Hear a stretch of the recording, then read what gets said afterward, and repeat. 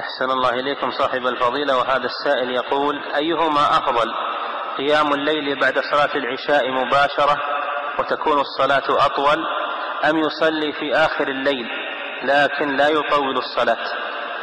آخر الليل أفضل من ناحية الوقت لأن وقت النزول الإلهي فهو أفضل. لكن اللي ما يثق من قيامه ما يثق من قيامه يخشى أنه ما يقوم.